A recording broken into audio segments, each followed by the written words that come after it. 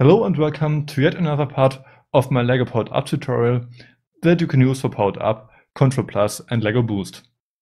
Today we'll take a look at a remote controlled vehicle. I built one. It's a very simple vehicle. I have two motors, one on port A and one port on port B, and both of these control the tracks. I want to control it with a remote and now I can write my code or I can introduce a new thing, specialized or self-made or my own blocks. You can find them here. And this option allows you to create your own programming block.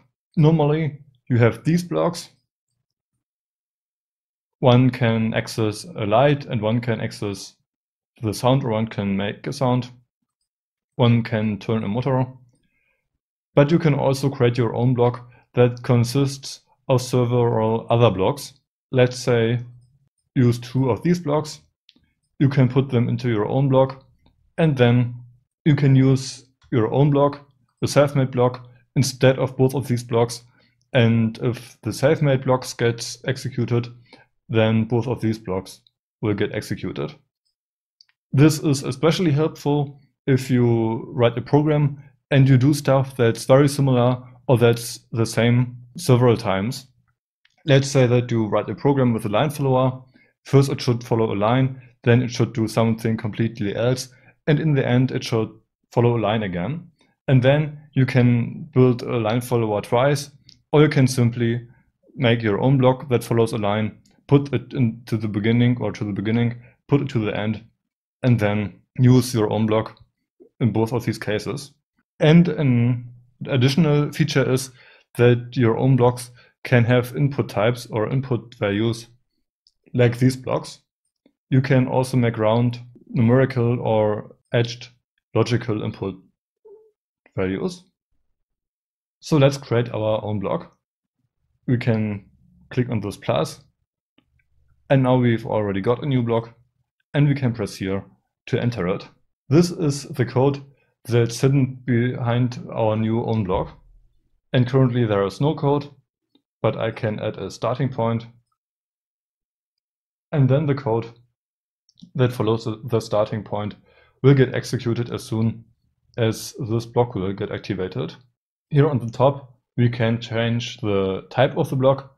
I will cover that in, a future part and we can change the color. And of course, we can press that and change the icon. I will change it to an arrow to the front but you can use all kinds of other icons like a remote control or let me use the remote control. And now you can add your own program. I want to remote control a car, so I will need an input for a remote control or from a remote control that will be connected to the second hub identification number and of course, we want to access uh, the value of the remote control. And that should be the input for a variable. Just a quick reminder, a variable can store a value. These normal variables will keep their value inside of this program, and the global ones can be defined outside of the program or of the subroutine or of, of the subprogram or of the own block and the values can be used in their own block as well. So the global variables will have the value in the complete program, including the my own block programs, and these normal variables won't have their value everywhere. But I can use a normal var variable, and then we can create a switch. This time I want to check if the stop button is being pressed and then I want the motor to stop and otherwise I want to control the motor with the speed of the variable because the speed of the variable is the input value of the controller. But keep in mind the value of this remote block is either zero if no buttons pressed minus 1 if the minus button is being pressed, and plus 1 if the plus button is being pressed. So I will have to multiply that with 100. We already did that several times. And then we have to check if the stop button is being pressed. Currently we don't check anything, so we can check if the input value of the variable is 127. That's the value of this block, this output, if the stop button is being pressed. And this is fine for the left motor on port A. So I can go back and make a second block for the right input, and then I can use the my own blocks. But that's not really good. These my own blocks can use numerical values as input. So I can add this number to any point of the program. And then when I go back,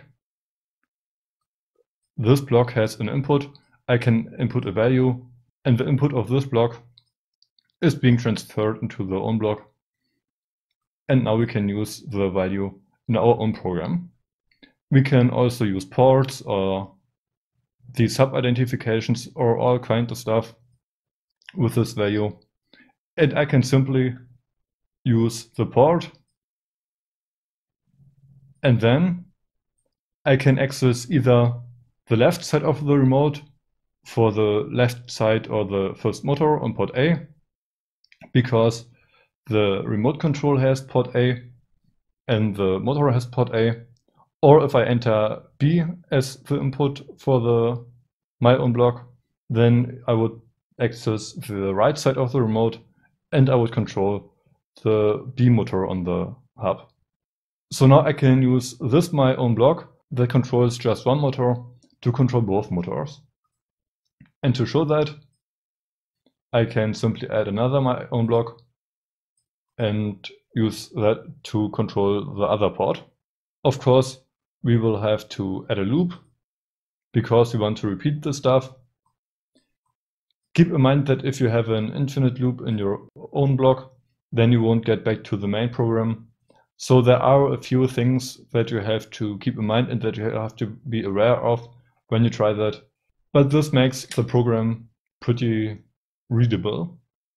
And basically, one person can write one block or one my own block, another person can write another own block, or one team member can write the first block, uh, another team member can write the second block. And then you can add the program together without having to think about what the other people have done.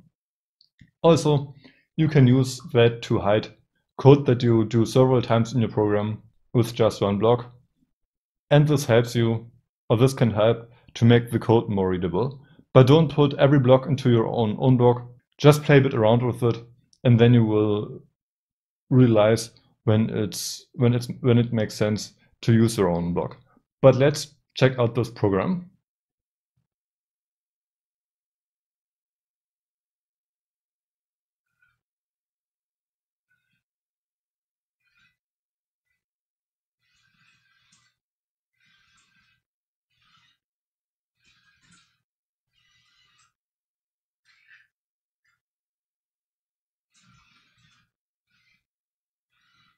And that worked how we wanted.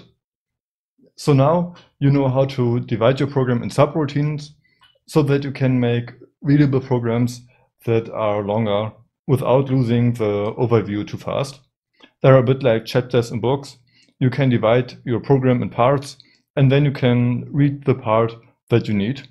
Now you can change this part of the program without having to worry about the program as a whole. This was it for this part. Thanks for watching. Please ask me any questions that you've got in the comments. I am pretty sure that not everyone that watched this video so far did understand everything. So if you've got any more questions, please ask me. Thanks for watching. See you in the next part. And if you've got any project ideas, you can also give them in the comments. I will see if they make sense for this tutorial and then I might make a tutorial part on your problem. And I think that in the next part, we will discover yet another option with the LEGO Boost color and distance sensor. So thanks for watching and bye.